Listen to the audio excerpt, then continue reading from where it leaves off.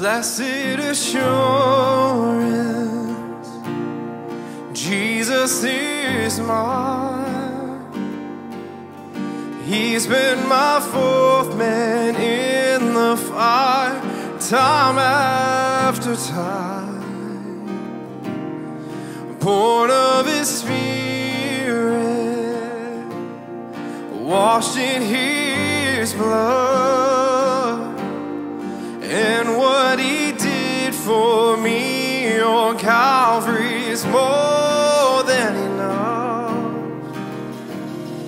So I trust in God, my Savior, the one who will never fail. He will never fail. So I trust in God, my Savior,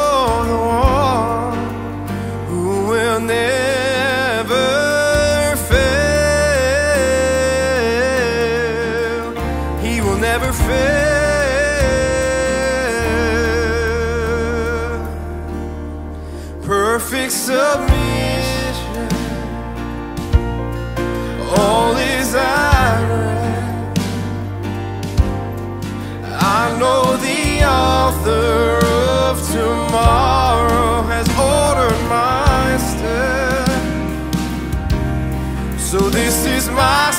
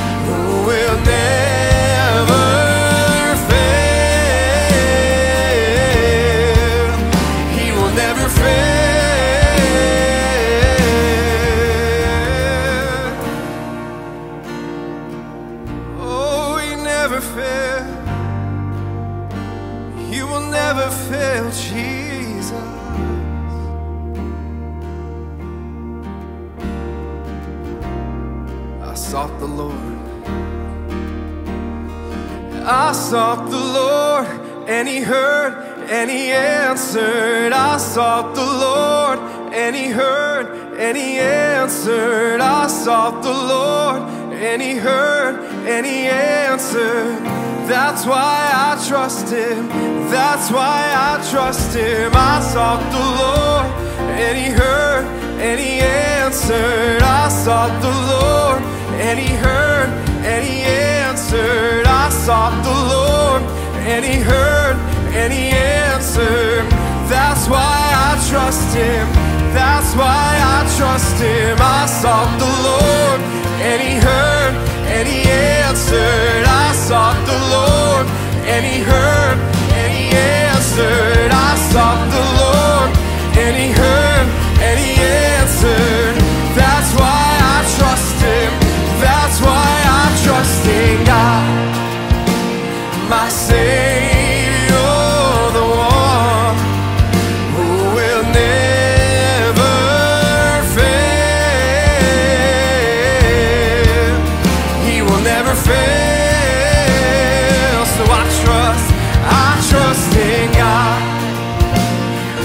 my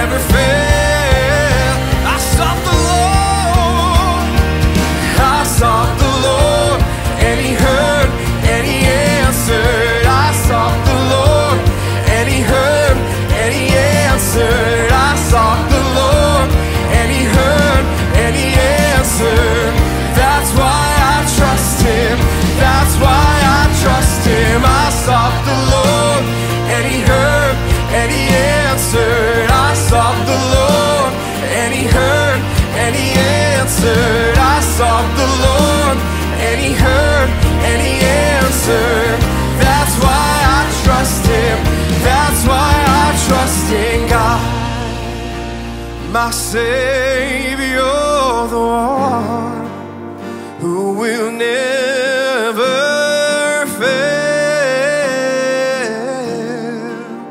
He will never fail. I trust in God, my Savior, the one who will never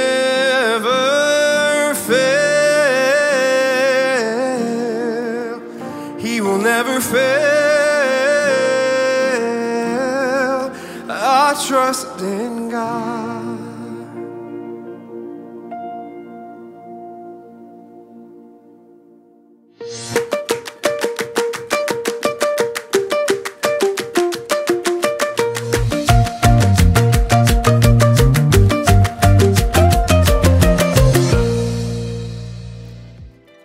Hey, community. Ryan Shibley here. It has been an incredible spring for Community Cares. We're celebrating another year of mentoring at five different elementary schools throughout the area. Hundreds of people are being fed through our different food programs, and we hosted another great edition of our undivided racial reconciliation cohort. As we look ahead, we are very excited about the summer. This is usually the time of year when we start talking about Summer Serve. This year, however, the event has gone through some exciting changes, and we're excited to announce our new Community Serve initiative. Community Serve is an opportunity for all of us, as the church, to embrace serving for the month of June. We want everyone to experience the great things happening through community, whether by shadowing on a new team or getting involved in one of our community cares projects. Look for information in the weeks ahead, but start thinking now about how God may be equipping you for something new and exciting. This is our opportunity as God's people to serve His kingdom, His church, and each other. Thank you for your willingness to serve, and thank you, community, for being the church. Hello and welcome to Community Online. I'm so glad you're joining us today. Here at Community, we are committed to helping people find their way back to God. This mission is the heartbeat behind everything we do. We believe the life you are longing for can be found in a growing connection with God, the church, and the world God's given us to love and serve.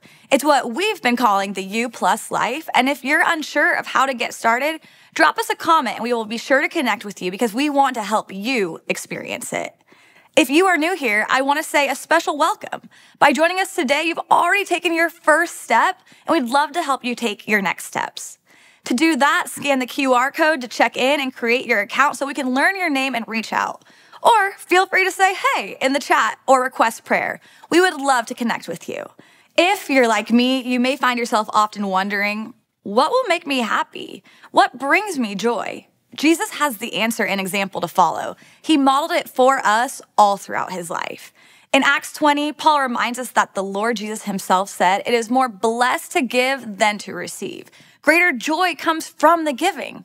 Think about it. When you hear stories of someone finding their way back to God, or when you see someone's face light up from an encounter they had with Jesus, joy is overflowing. Each week, we have the opportunity to invest in something bigger than ourselves. Because of the ministries that happen here at Community, we have a front row seat to the change happening in people's lives. When you give back to God here at Community, you're investing in that and life change. And Jesus says you will be blessed by it. You will experience joy. So, I invite you to join me right now in giving back to God. You can give online or set up your recurring gift by going to givenow.cc or by texting the word give to 331 226 1686. As you give, let's get ready to hear from teaching pastor Tammy Melchien as she brings us the next message in our series, Her Story Women in the Bible.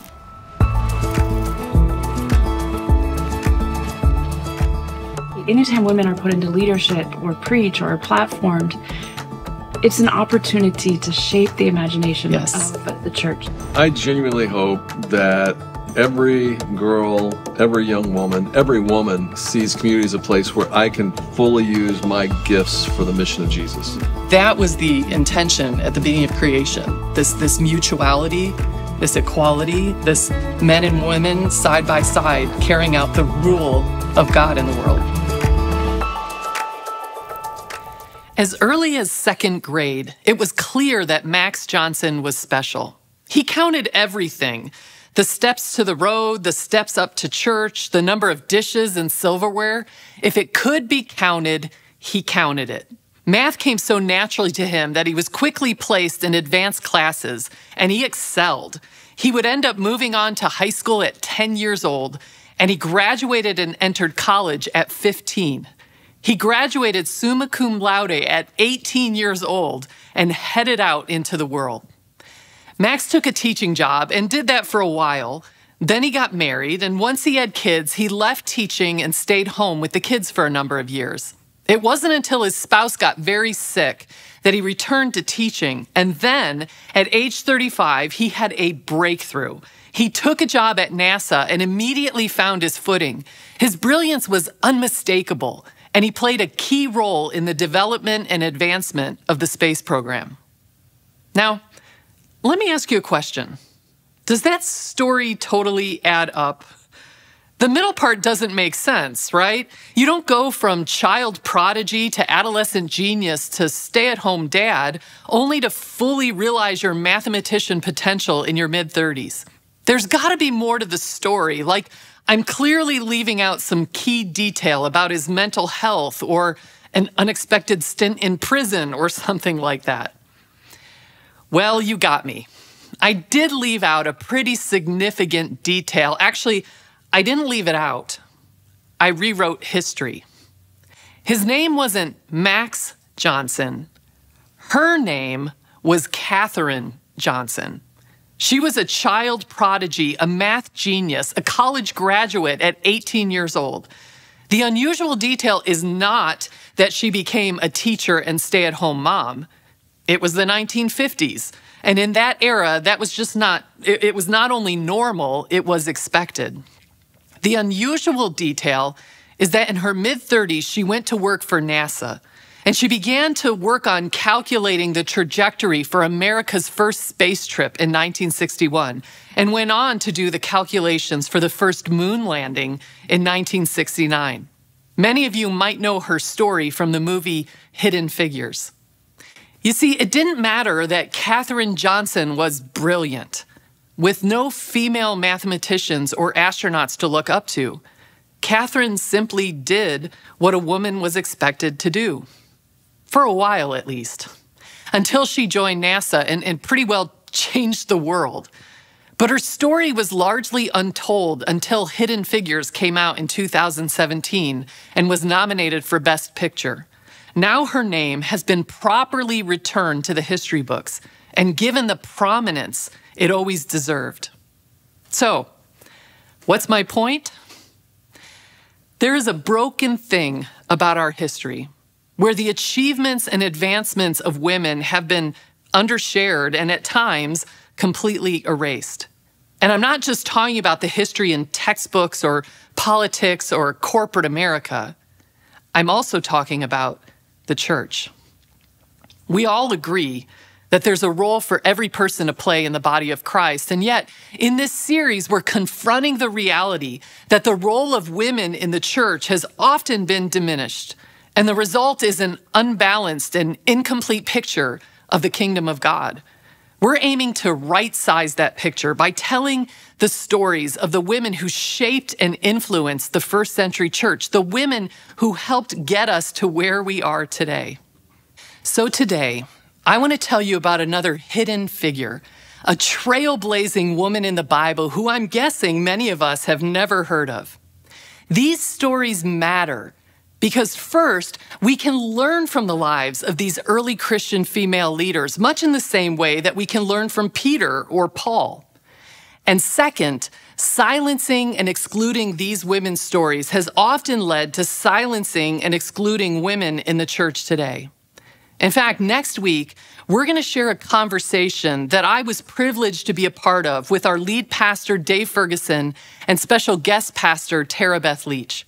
We're going to share stories and discuss some of the passages that have been used to silence and exclude women. But today, we're going to learn about a trailblazer who only appears in one verse in Scripture. Now, of course, that's not a lot of content, But through just this one verse, we can learn so much about her. Her name is Junia. We discover Junia in Romans 16, where, where Paul closes his letter by praising a number of early church leaders.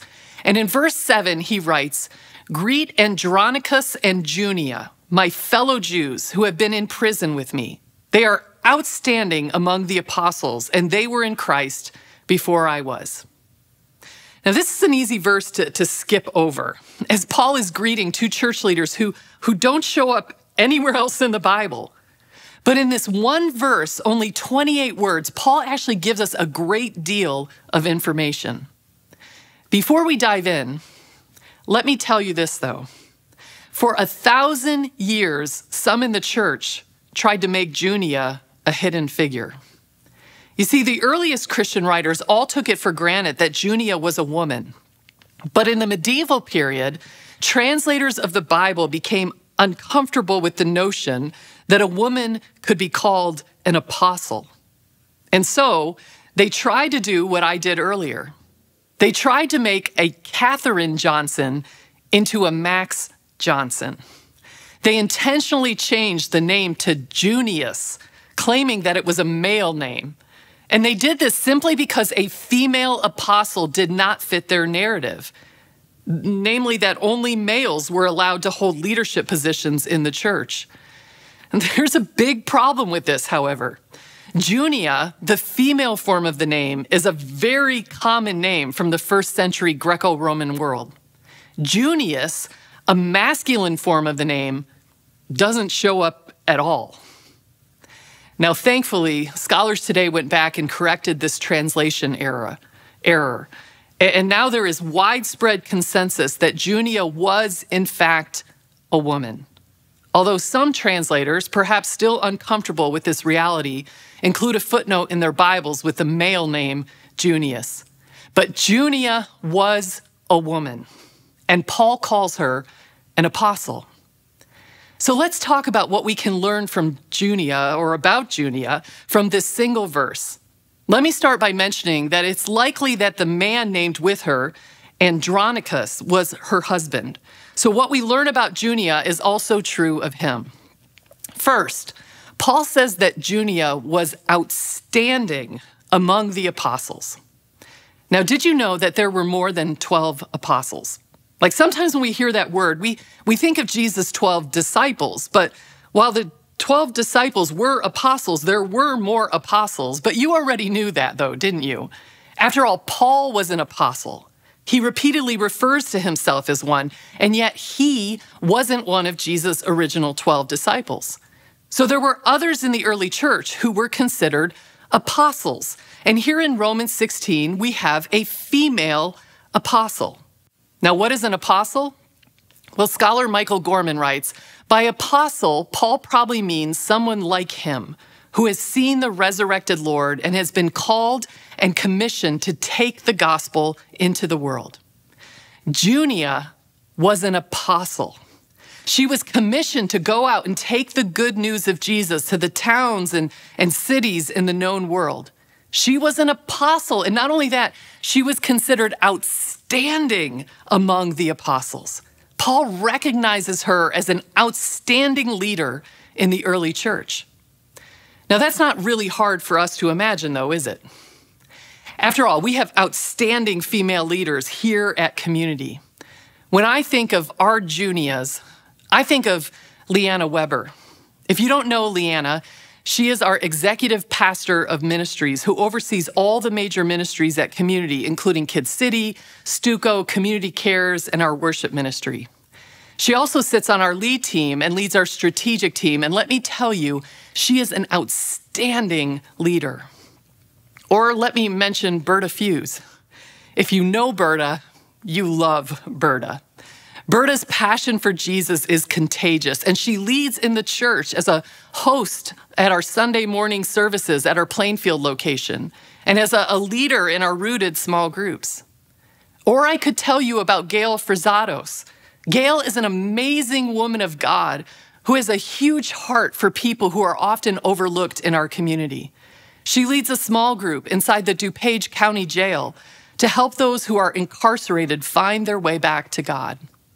I could go on and on, naming all the amazing female leaders we have on staff, serving as small group leaders, leading ministry teams, and impacting our communities. God has blessed our church with outstanding female leaders.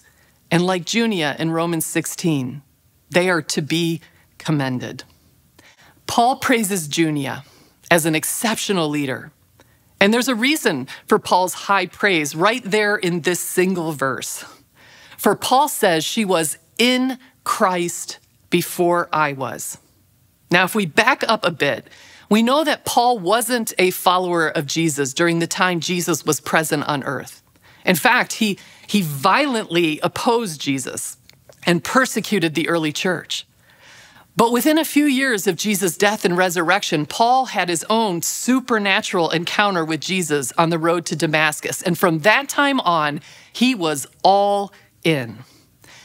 But here in Romans 16, Paul commends Junia for being in Christ before he was. Junia had been a Christ follower longer than Paul. And given the time frame, it is reasonable and highly probable to assume that Junia knew Jesus personally. She likely spent time in Jesus' presence, listened to his teachings, and experienced his miracles. Now, there is no way to know for sure, but here is an interesting conjecture that scholars down through the ages have made about Junia and her husband. The early church father and theologian Origen, who lived about 150 years after Jesus' resurrection, writes this about the couple. Paul might have called them prominent among the apostles who preceded him because they were among the 72 who were also called apostles. Now, this is a reference to a passage in the Gospel of Luke where Jesus sends out 72 of his disciples, two by two, to the surrounding towns and villages to carry out his ministry.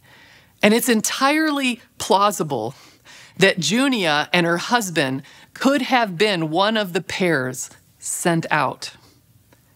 If I were Paul, I would want to learn everything I could from people who had been in Jesus' presence in Paul's commendation of Junia, he does seem to look up to her as a mentor figure. It makes me wonder who are the mentor, who are the women who have mentored you in your spiritual journey? Like I could name several, but honestly, the one who had the earliest and biggest impact on me was my mom.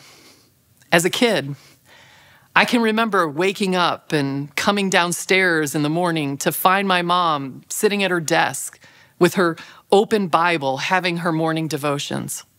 I remember her being a disciple maker in the lives of the younger women in the church who would come over to our house to spend time with her. I remember her leading on our church's leadership team and teaching Sunday school classes. Her example shaped a lot of who I am today. Who are the women who have mentored you in your spiritual journey? Maybe you could take a minute today to send them a word of thanks, to commend them like Paul commended Junia. Before we move on from this single verse, let me point out one more thing we learn about Junia. Junia had been in prison with Paul. Now, if you do a little historical digging, you'll find that, that very few women were put in prison in Roman society. New Testament scholar Nijay Gupta writes Roman prisons weren't the sort of place where one was sent for petty crimes, especially in the case of women. Our best understanding is that for minor infractions in the Roman world, women would be handed over to their husbands or fathers to be punished and shamed. Now, when you hear prison, don't picture one of our modern Western prisons. Instead, Imagine yourself being lowered down through a small hole in the ground into a, a dark and dank cistern. Feel the, the shackles shutting around your ankle as you're anchored to a, a rough stone wall. When the entrance overhead is covered, you are thrust into darkness. And if you're a woman, you aren't confined separately from the men, posing an additional set of dangers. Just imagine What a threat Junia must have been to the Romans or the religious authorities for her to end up in prison. She must have posed the same kind of threat that, that Paul posed for boldly preaching the gospel. This woman was courageous, risking her life for the sake of telling people about Jesus. From this one verse in Romans 16, we learn that Junia was a, a talented, brave, trailblazing leader in the early church, a woman whom Paul praises and esteems. Friends, we need to tell her story because the church needs more Junias. I say that because the achievements of one generation become the foundation the next generation builds on. But when those achievements are ignored, misunderstood, or intentionally erased, the advancement of the kingdom of God is disrupted. Perhaps some of you were the lucky ones. Your faith journey has been one with lots of junias, women whose gifts and leadership were evident and celebrated. Perhaps there is a spiritual boldness in you that came to life because of a junia in your life or in your church. And I'm not just speaking to the women, by the way. It's not just the women who need a junia to look up to. All of us, men and women, benefit when the whole body flourishes because as Paul reminds us, you are the body of Christ and each one of you is a part of it. But unfortunately, what is much more common in many religious traditions is that women are ignored, misunderstood, and sometimes erased. And what happens is that, absent an example to look to, many women have been held back from fully using their gifts in the kingdom. I've talked to women who doubt their abilities, who have disqualified themselves from leadership roles.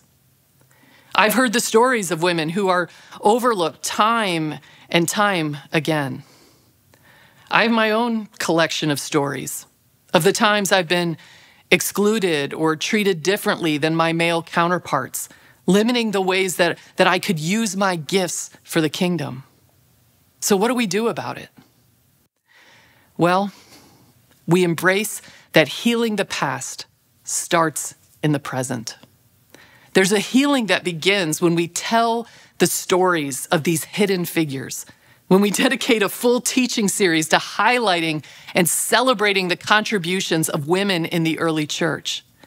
And that healing accelerates when women in our church accept the call to be trailblazers for the kingdom of God in the line of Junia. As we wrap up our time today, I want to make two invitations. The first is to the women listening. I'm inviting you to reach out for prayer. If there is a Junia in you that has been activated in this series, then this is for you. Perhaps you'd like prayer that God would reveal his mission for your life. Perhaps it's praying for, for boldness to walk out the mission that God's already given you, but that you've been maybe scared to walk out.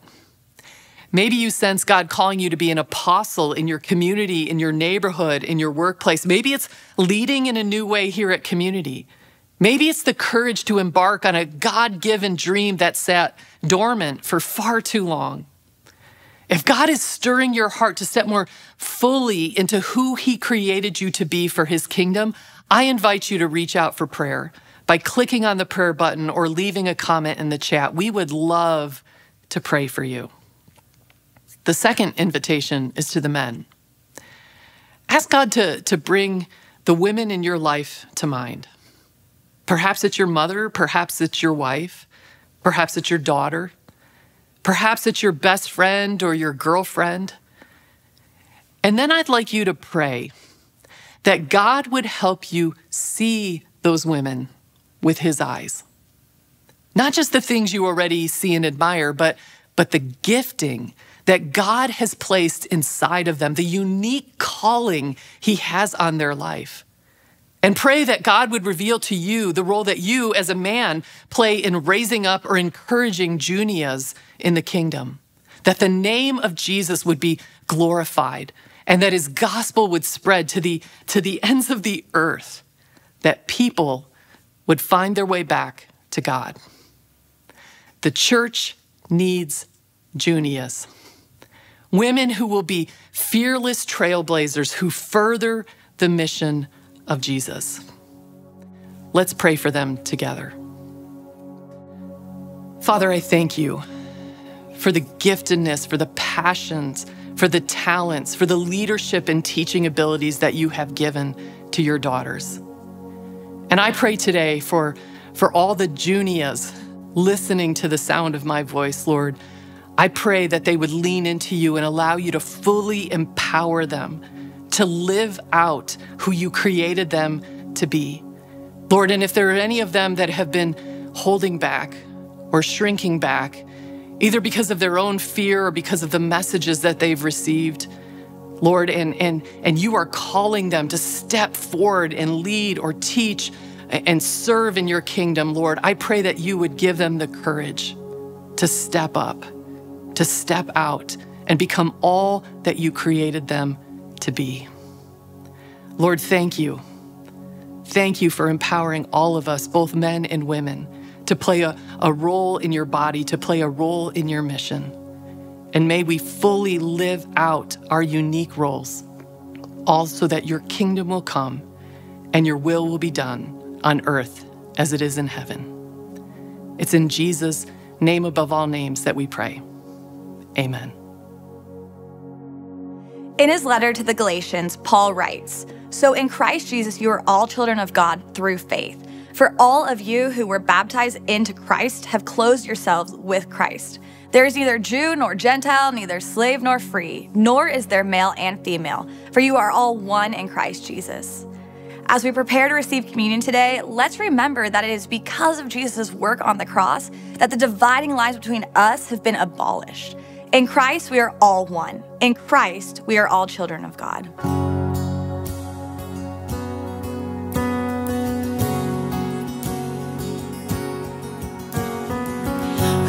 am I that the highest king would welcome me.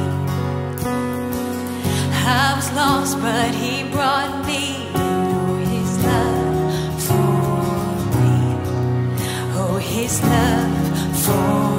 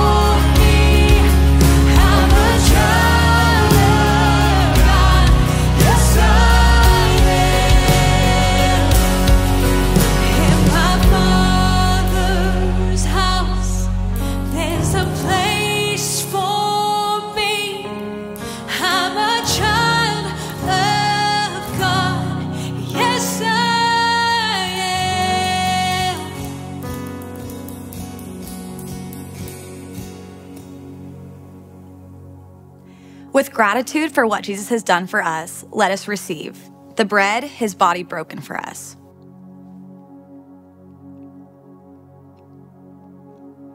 And the cup, his blood shed for us.